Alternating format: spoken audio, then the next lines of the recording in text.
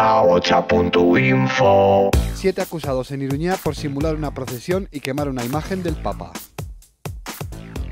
La Policía Municipal de Iruña ha acusado a siete personas de un delito contra la libertad religiosa por protagonizar una parodia de una procesión y quemar una imagen del Papa Francisco.